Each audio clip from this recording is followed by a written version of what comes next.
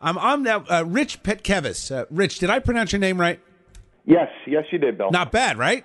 No, very good. All right. So, Rich, you are uh, you're from Winslow Township, and you organized a group called Citizens for a Safer New Jersey, and you've got a petition out.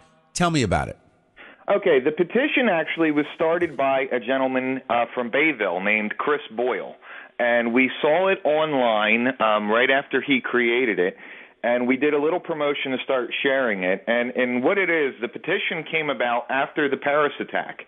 Um, and it's calling on Governor Christie to um, use his administrative powers to define the term justifiable need. For those who don't know, in the state of New Jersey, in order to obtain a permit to carry a firearm lawfully, you must first make an application to your police chief, and that requires background checks, um, chain, training requirements.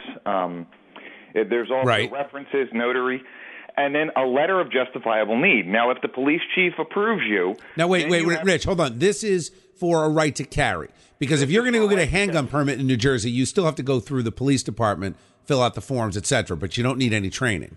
Yeah, no, not, to buy a handgun, you don't need the training requirement. Okay. You don't need a justifiable need letter. But in order to lawfully carry the handgun, it's that's when all these other steps. Okay, got it. Now, once the police chief decides that your statement and application process um, packet is complete, then he sends it forward to Superior Court. Then a Superior Court judge has to rule that yes, you have justifiable need, and it almost is a 100% denial rate.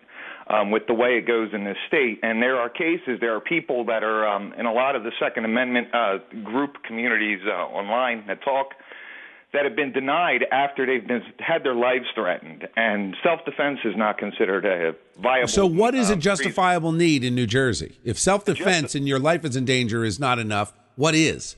Well, that's that's a good question because uh, and there are some cases out there where we had a gentleman that was almost beat to death twice, and the only reason he ended up getting a permit was because the, his appeals were going forward to the Supreme Court, and we feel in the Second Amendment community that once the Supreme Court finally gets a New Jersey justifiable need case, that it's going to, you know, it's going to blow the door wide open and say, hey, you know, you can't do this.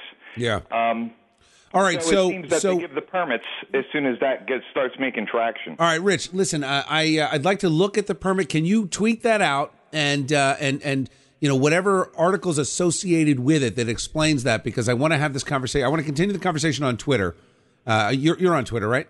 Yes, yes. All right, so so tag me in it at Bill Spadea, tag the station at NJ1015, and uh, you know I want to look at it. I think it's it absolutely it is about time that again we have a plan. And if defending your own life, as in the case of Carol Bowne, was is not enough for a justifiable need, I don't know what could possibly constitute a justifiable need in the eyes of the law in New Jersey. So, Rich, thank you for your efforts. I appreciate you joining me on New Jersey 101.5.